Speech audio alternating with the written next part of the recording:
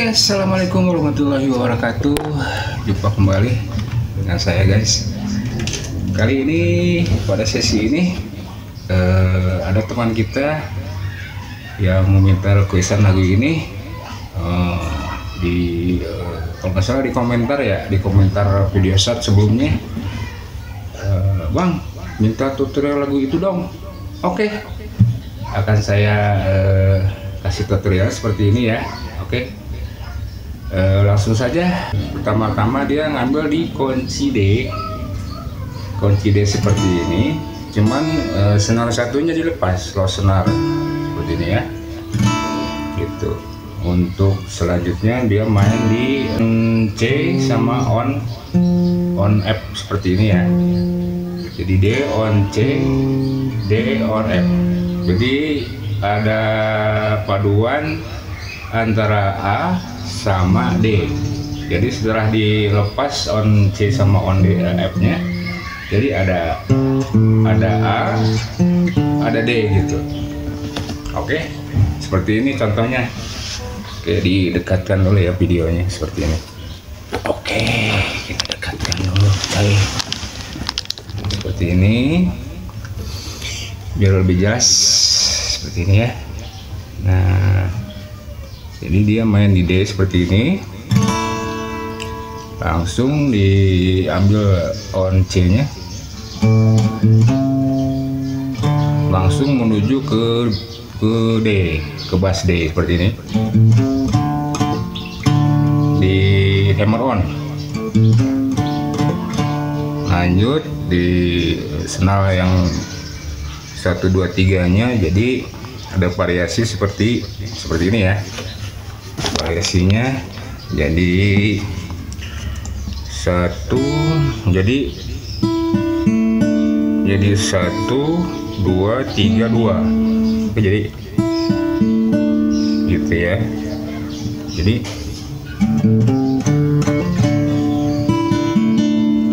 itu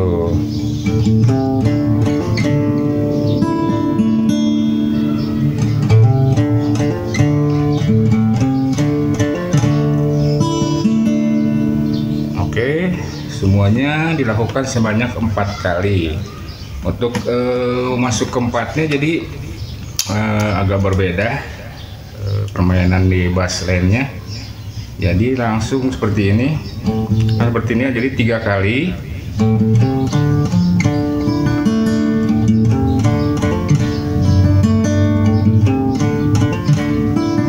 Nah untuk yang keempat kalinya jadi jelas langsung ke menuju ke kunci R seperti ini.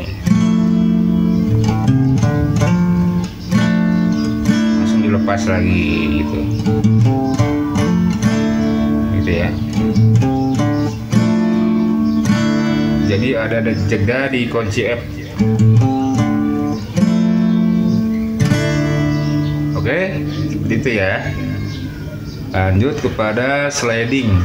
Sliding eh, note nya seperti ini dia menuju ke senar 2 fret eh, ini saya pakai kepo ya cuman ukurannya nadanya nada standar sama aja. Jadi kalau tidak pakai kepo posisinya akan tidak di sini jadi di nomor 10 seperti ini. Cuman saya main di 11 karena ada pengaruh dari naik eh, posisi di kepo ini ya. Jadi mainnya di menurut eh, kapo ini jadi saya di nah 2 fret 11 jadi gitu ya. Langsung yang bawahnya senar ini 11 ya.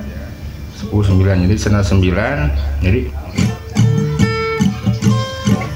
langsung kembali lagi ke senar 11 langsung lanjut lagi lanjut yang atasnya menuju senar 3 dia ke posisi eh, senar 3 fret 13 jadi gitu ya.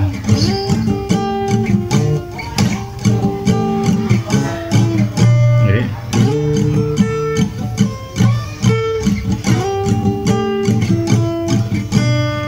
oke paham ya? Jadi untuk membunyikannya seolah-olah eh, kita meng-strumming cuman tidak tidak terdengaran jadi punya efek tersendiri. Jadi seperti apa, apa variasi aja seperti dia. Nah, jadi yang terdengar jelas itu di setelah nomor eh, 11 nya gitu gitu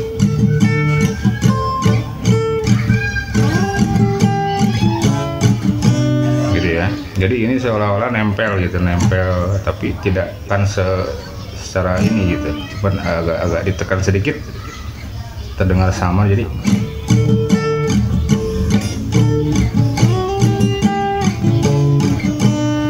oke gitu. Untuk langkah selanjutnya eh, langsung ke senar D lagi. D. Nah itu eh, seperti ini ya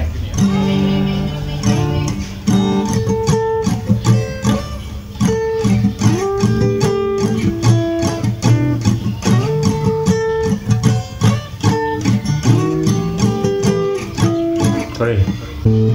Langsung seperti ini.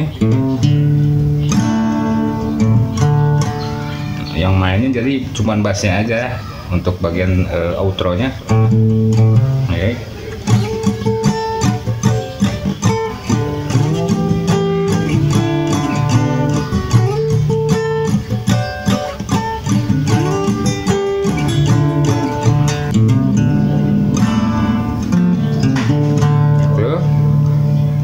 Langsung dia di slide.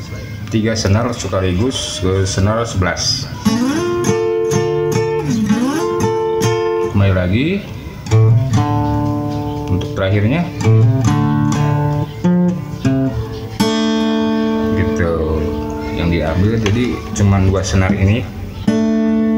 Antara senar 2 sama senar 3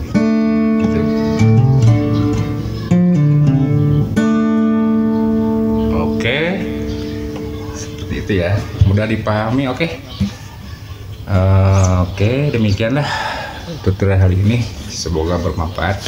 Assalamualaikum warahmatullahi wabarakatuh. Ciao